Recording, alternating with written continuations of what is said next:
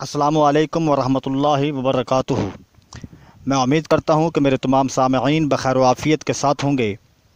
اور ان دوستوں کا نہایت ہی ممنون اور مشکور ہوں۔ جو میری ویڈیوز کو دیکھتے ہیں، لائک کرتے ہیں، شیئر کرتے ہیں اور ساتھ میں کمنٹس بھی کرتے ہیں۔ آج ایک نئی بات کے ساتھ میں آپ کی خدمت میں حاضر ہوں کہ ایک بادشاہ سلامت اپنے وزراء کے ساتھ جنگل کے سفر میں روانہ ہوا۔ دوران سفر کسی سانپ نے بادشاہ کو ڈس لیا۔ اب بادشاہ سلامت کو سانپ کے ڈسنے کی تکلیف اتنی تھی۔ ساتھ میں شاہی طبیب بھی تھا۔ شاہی طبیب نے لاکھ کوشش کی تاکہ درد کو ختم کیا جا سکے، لیکن بادشاہ کے درد کو ختم نہ کیا جا سکا۔ اب بادشاہ کا شاہی طبیب رونے لگا زارو قطار رونے لگا۔ وہ ذرا پریشان حال تھے کہ اب بادشاہ کا کیا کریں؟ یہ تو نہایت ہی تکلیف میں ہے۔ اسی اسنا میں ایک درویش کا وہاں سے گزر ہوا۔ اس نے جھانک کر دیکھا کہ لوگوں کا جھرمٹ ہے اور درمیان میں بادشاہ سلامت زمین پہ لیٹے ہوئے ہیں اور درد کے ساتھ تکلیف میں مبتلا ہیں۔ تو میرے احباب، اس درویش نے آگے بڑھ کر بادشاہ کے سانپ کے ڈسے ہوئے حصے کے اوپر تھوک دیا۔ تھوکنا تھا اور ساتھ ہی درویش نے دوڑ لگا دی۔ اب لوگوں نے اس درویش کے تھوکنے پہ اور اس کے بھاگنے پہ توجہ نہ کی۔ تھوڑی دیر کے بعد جب بادشاہ کو ہوش آ گیا، بادشاہ سلامت اٹھا۔ بادشاہ سلامت نے پوچھا کہ اس درد کو کس نے ختم کیا؟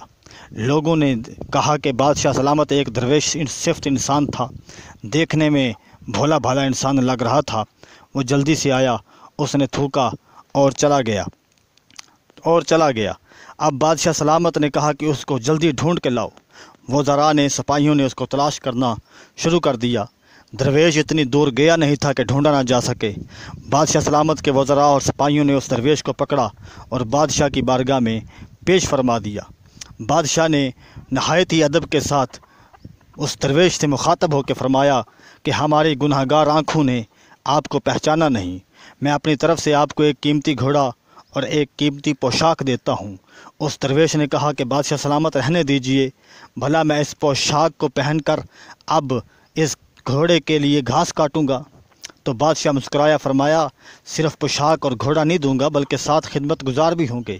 خدمت کرنے والے نوکر چاکر ہوں گے۔ تو اس درویش نے مسکرا کر فرمایا، بادشاہ سلامت، اب اس گھوڑے کو اور ان خدمت گاروں کو میں رکھوں گا کہاں؟ بادشاہ نے کہا، ساتھ میں تمہارے لیے ایک گھر کا بھی انتظام کیا جائے گا، ایک محل بھی بنایا جائے گا۔ تو درویش نے فرمایا بادشاہ سلامت، اب خدمت گاروں کے ساتھ اور نوکروں کے ساتھ اور مال و دولت کے ساتھ میں اکیلا رہوں گا۔ تو بادشاہ نے مسکرا کے فرمایا، بلکہ میں اپنی بیٹی گلنار کی شادی تمہارے ساتھ کر دوں گا۔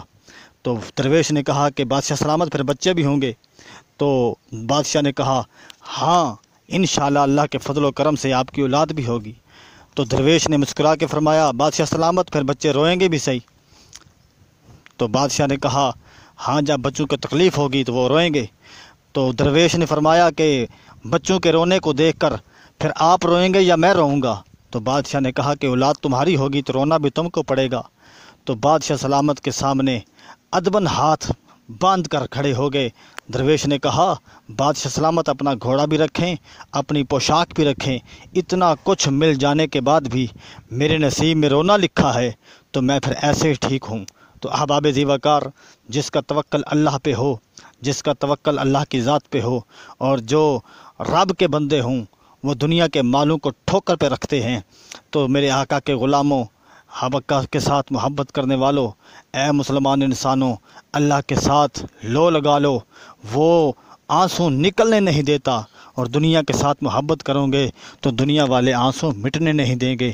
اگر آپ کو میری یہ بات اچھی لگی ہے تو براہ مہربانی کمنٹس کے ذریعے مجھے اپنے خیالات کے اظہار سے نوازیں تاکہ میں نئی سے نئی ویڈیو بنا کر آپ کی خدمت میں پیش کر سکوں۔